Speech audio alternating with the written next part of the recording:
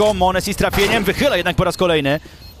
A tutaj w tym smoku zawodnik CT, ale Snack z kosą i jeszcze tylko jeden zawodnik. NQZ, który nawet nie będzie próbował. Snacks jakże sprytnie schowany do samego końca. Tego się nie spodziewali Brazylijczycy.